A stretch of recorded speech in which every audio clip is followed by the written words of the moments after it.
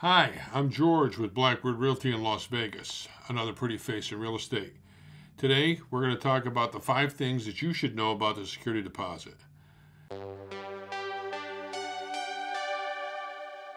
Tip number one In Nevada, the landlord has 30 days to return the deposit or account for it.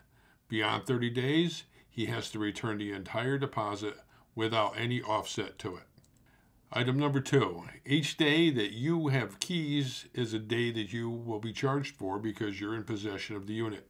So, return the keys before the end of the month.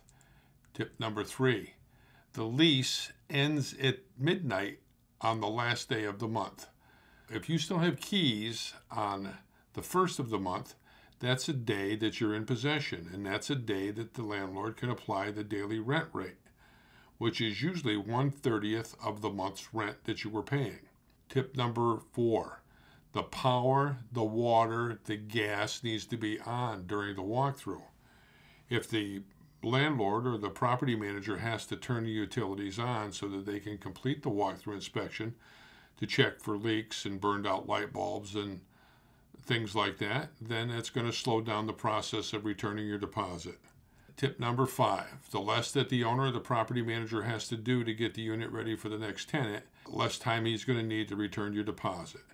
So, have the carpet shampooed, have it cleaned, turn it over like you found it with nothing but normal wear uh, to worry about.